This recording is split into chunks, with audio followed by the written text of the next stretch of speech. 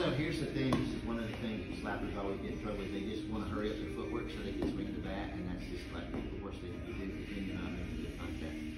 When you get out, it's because you make that contact. Yes. Make good contact by good footwork. Make slide step, plant step, yes, there you go. Now, here's the thing, you keep sliding further and further and further back away from the ball. Get used to working in smaller spaces, because I mean, that plate is, I mean, the, the box itself is kind of small, an official box. Go ready, stack, hands, plant, step, go.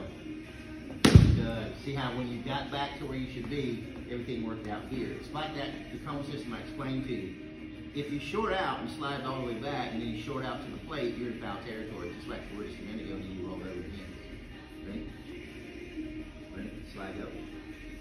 Good. Good thing you came in and worked for an hour before you got a training session in. This will make this a lot easier on you.